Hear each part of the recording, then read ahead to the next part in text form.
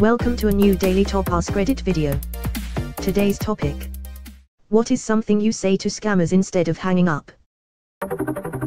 Please do not post phone numbers or other personal information in this thread, see Rule 4. I used to get a lot of home security calls offering alarm systems and cameras. I would of course ask all the curious questions and then lead them to believe I was using the alarm system and cameras to keep people inside the house. The questions those guys asked should have raised huge red flags to anybody they talked to, but you just know some people gave real information. I kept one on the line once, and I was besides myself at all the questions they were asking. I was fairly certain they'd just come by and rob you the next time you were at work. Where do you live? How many doors and windows on the first floor, what configuration? Any dogs? How often is your house empty forward slash when do you go to work? Any computers, jewelry, expensive paintings, etc. Jesus. Literally everything I would ask if I was calling up someone so I could rob them. LOL reminds me of a case where a fake UPS guy visited a German streamer and was like we have a really big package to deliver to you the next few days. When are you not at home, just so we don't miss you? And we need some strong men, do you have any strong men living here? Edit, the streamer's name is Ungespielt and it happened line a few weeks ago. He is not living in Germany since a few years. The guy was driving some sort of rented moped. With the license plate they figured out the scammer's full name, address and the fact that he is not allowed to leave his home country, Austria, as he is mentally ill. Or something like that.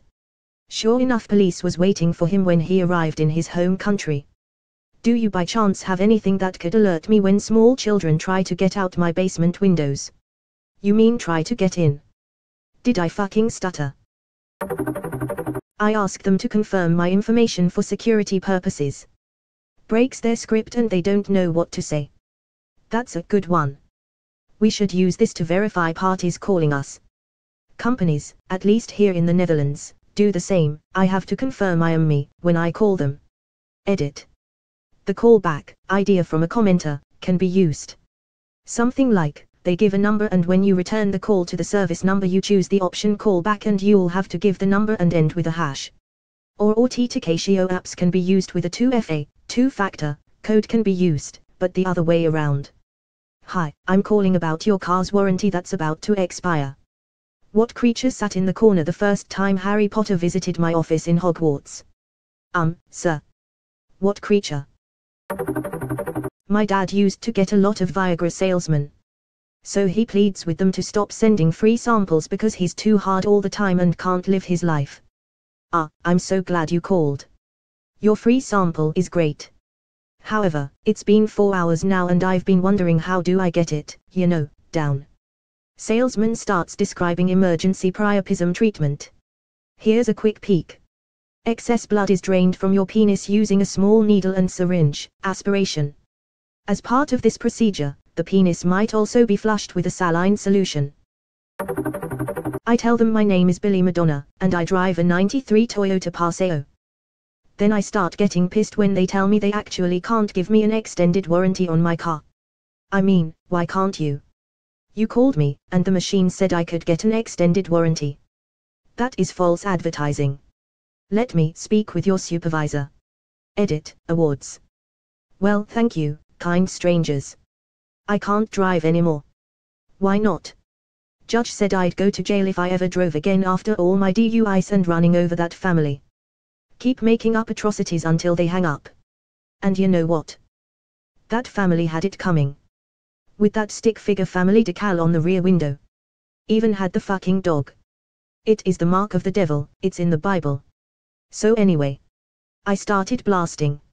Made a new account just to comment this. I used to do cold call sales. Nothing scammy, just annoying. I didn't like doing it and I'm glad I got out of it. I guess one guy got tired of getting calls from us because he went off on a tirade about how he was caught in the middle of a famous pedophilia scandal. His business had gone bust as a result and he had lost all his friends and his family didn't want anything to do with him. His reputation was destroyed and he ranted about how he wasn't involved but the press had printed his name and that was it. We had a policy where we couldn't hang up our phones no matter what until we had gone through our script so I had to sit and listen to this guy rant for 45 minutes. He kept me late after work too. Googled him when I got home and found nothing related to the scandal, so I'm 99% sure he was bullshitting to waste my time and stop us calling him again. Several years ago, my car got the absolute shit beaten out of it by a hailstorm. Like, $5,000 worth of damage. I wasn't planning on keeping it long term anyway so I never bothered to get it fixed. One day a few months later I dropped it off for an oil change, and the used car dealer next door called me with one of those, your car is a harder to get model and we'd like to offer you a trade-in. Calls. Have you actually seen my car? Oh yes, we're looking at it right now. And you want to buy it off me? Yes, we'd love to get that conversation going with one of our sales representatives. So you're fine with all the hail damage? Um, well we can. And you know the sunroof is broken too right? Oh. I mean, if you saw it you'd know that. They hung up and never called me again. Damn, you should have let them just buy it. I've put them on hold before. As if I'm working in a call center. Had a guy on hold for five or so minutes it was quite ridiculous that he stayed on the line. I can guarantee he probably appreciated the free break. Agreed. Likely figured, fuck it I'll sit and wait. Exactly. In one video by Kitboga, a popular scam baiter, he was trolling this one guy for like an hour before the guy admitted he knew he was being trolled from the beginning and just wanted to waste time, as the bonus he got from actually scamming someone was very little. He then proceeded to reveal large amounts of the company's information. I take a deep breath and let out a continuous raspberry. Fart noise with your tongue, for as long as I can. When I stop to take a breath I usually hear a hello. And then I take a big breath again and continue. No one has made it to two full raspberries before hanging up on me. Honestly of all the replies this is the only one that made me actually laugh. I'm a child. We're all children, Dick. Oh hang on, let me get the, they'll be able to help you. Then just turn the microphone off and go about my day. We have a Rickroll extension. We forward them to it after telling them about the brief hold and then check the recording length the next day to see if they've beaten the record. Edit, it's 1.5 plays tilde about 5 minutes. Every time they sit through the beginning of the song the second time we all begin to pray to the internet gods that they will make it all the way through to the elusive third loop. What's the record? I've done this and handed the phone to my kids, when they were toddlers, before, too. I used to let them talk to my daughter when she was two all the time. She thought it was the best thing in the world. One moment, I'll get the lady of the house for you right now. Woo. So, what is your password? Kai Big K, small Cyrillic Ya, Polish EW, Icelandic Eth, Turkish Dotless I. No bot will ever brute force this. Scammer, oh you mean K? Is that correct? Demo summons from the floor. WTF do you want? I was sleeping. Just to let you know, by law I'm required to inform you that this is a premium phone line that will be billed directly to your provider.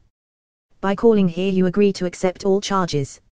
Something like that not only gets them to hang up, but they tend to stop calling me after that. My mother is older and retired for some time now. She makes a game out of screwing with them.